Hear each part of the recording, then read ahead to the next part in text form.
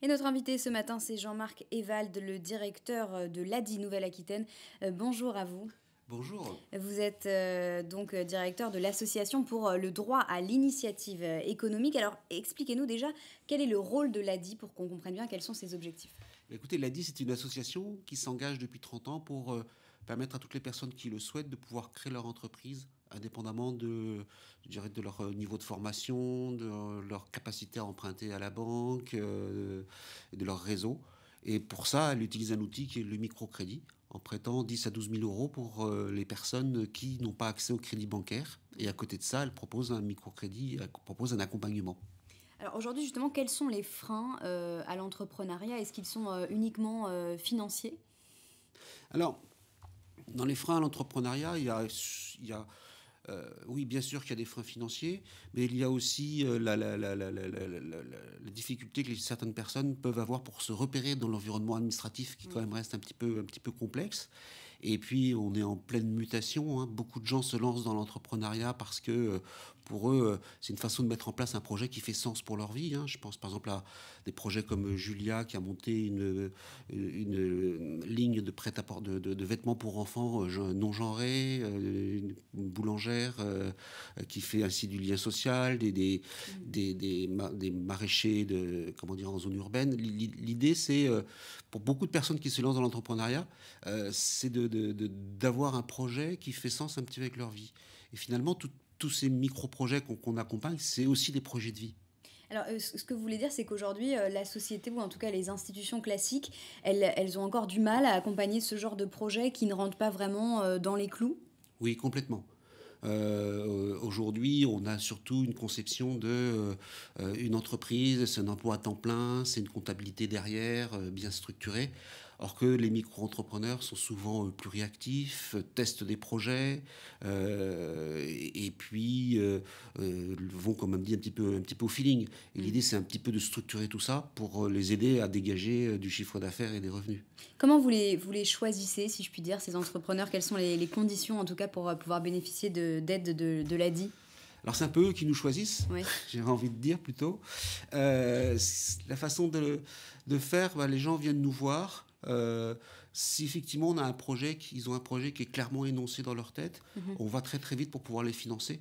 Hein, puisque en moins d'une semaine, les décisions peuvent être prises. Les gens nous viennent de Pôle Emploi, de beaucoup le bouche à oreille, et c'est pour nous une grosse source de satisfaction. Hein. plus d'un quart des personnes qui viennent nous voir viennent parce que euh, par le bouche à oreille.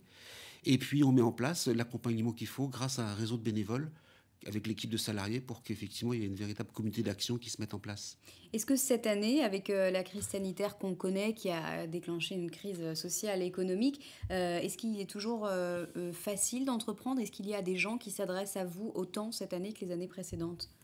Alors, D'abord sur la première, euh, effectivement, euh, euh, sur la première vague hein, ou la première crise, ça a été très très compliqué. Hein. L'économie s'est arrêtée brutalement et nous, nous avons, nous sommes organisés pour que effectivement cette onde de choc soit minimisée le plus possible pour, pour nos emprunteurs, hein, pour nos pour nos entrepreneurs locaux.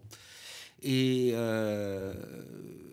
et finalement avec euh, des dispositifs d'aide publique qui n'étaient pas forcément adaptés à ces, micro-entrepreneurs. Mm. Ce qu'on a constaté après, depuis le mois d'août, euh, vraiment une reprise, c'est-à-dire un nombre de personnes croissantes qui venaient nous voir pour créer leur entreprise, pour essayer de réfléchir à des nouvelles formes d'entreprise. Et la difficulté qu'on a aujourd'hui avec cette deuxième vague, c'est que tous ces efforts de relance ont été stoppés euh, net. Quoi. alors justement, qu'est-ce qu'ils ce qu'ils peuvent faire aujourd'hui, les entrepreneurs, pour pour pouvoir euh, faire partie euh, d'un système de relance euh, pour, après cette deuxième vague Alors déjà, on a prévu à partir de demain de tous les recontacter pour voir un petit peu où sont les difficultés, qu'est-ce qu'on peut faire avec eux. On l'avait déjà fait la première fois, c'était des, des, des, choses qui avaient été très très bien ressenties, très très bien vécues. Aujourd'hui, les entrepreneurs, ils ont besoin de fonds propres, hein, technique d'entreprise de, de, fonds propres pour pouvoir redémarrer, pour qu'effectivement euh, bah, ce besoin en fonds de roulement euh, qui n'est pas fait par le chiffre d'affaires puisse être fait par des, des, par, par, des subventions ou des, ou des, ou, des, prêts d'honneur, et puis qu'on puisse amener de la technicité pour les aider à se repositionner sur des nouveaux marchés ou sur des nouvelles façons de, faire les choses. Je pense à des questions liées à la mobilité douce, mmh. euh, je pense à des questions liées au digital, au circuit court, voir un peu comment on repositionne et comment on aide les, entrepreneurs à se repositionner vers de nouvelles activités. Donc il n'y a pas qu'une aide financière, vous les accompagnez aussi beaucoup euh, sur des décisions, des choix, euh, des orientations même stratégiques. Voilà, exactement. On, les aiguille là-dessus, on les fait réfléchir euh, sur, un peu, sur un peu tous ces sujets. Mais la, priorité va être aujourd'hui de pouvoir redoter en fonds propres euh, les entreprises. Et là, effectivement, on va vraiment avoir besoin euh, des, pouvoirs publics. et j'espère plus que sur la première vague où effectivement tous ces micro-entrepreneurs ont été un petit peu mis de côté. Est-ce que la Nouvelle-Aquitaine est une terre où on entreprend beaucoup dans la région? C'est quelque chose qui fait partie de, notre ADN ou pas spécialement? Je pense que oui. Alors après, euh, je ne sais pas si dans les autres régions, mais en tout cas en Nouvelle-Aquitaine, je pense que oui, il y a beaucoup beaucoup de projets, beaucoup de demandes. Et puis, euh, je pense qu'on soit aussi bien en quartier prioritaire de la politique de la ville qu'en zone rurale ou en zone urbaine, il y a vraiment cette volonté euh, de, de, de, vouloir impacter l'économie en mettant un projet qui a un petit peu de sens. Pour conclure, vous diriez qu'aujourd'hui, tout le monde, n'importe qui, peut entreprendre en France? Oui, je pense que tout le monde peut entreprendre. La, question, c'est qu'il ne s'agit pas non plus de forcer les gens et ni de dire que ce soit euh, un palliatif mm. au travail salarié. Mais je pense que quelqu'un qui a envie d'entreprendre, euh, on peut le faire cheminer sur son projet pour qu'effectivement il puisse arriver à mettre en place euh, son, projet d'entreprise. Merci beaucoup Jean-Marc Evald. On rappelle que vous êtes donc le directeur régional de l'ADI Nouvelle-Aquitaine. Merci d'avoir été avec nous. Vous restez avec nous sur TV7. On se retrouve dans un instant pour un nouveau journal.